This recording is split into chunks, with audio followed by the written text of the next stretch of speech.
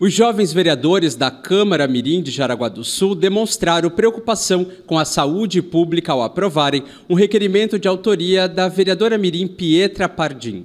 O requerimento visa convidar um representante da Secretaria Municipal de Saúde para participar de uma sessão plenária com data a ser definida, a fim de discutir o cenário da dengue na cidade e as medidas para combater sua disseminação. A dengue, uma doença transmitida por mosquitos, tem sido motivo crescente de preocupação em Jaraguá do Sul, especialmente diante do aumento dos casos relatados recentemente.